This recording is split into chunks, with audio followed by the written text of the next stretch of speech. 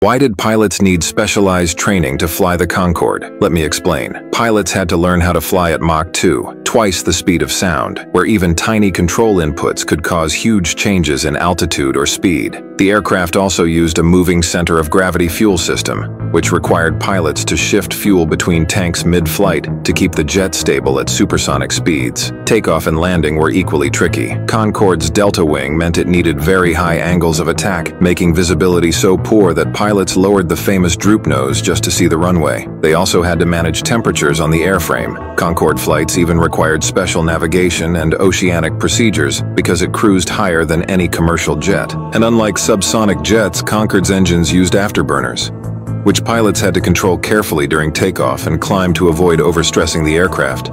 The flight engineer also played a huge role, managing dozens of systems that modern jets automate today.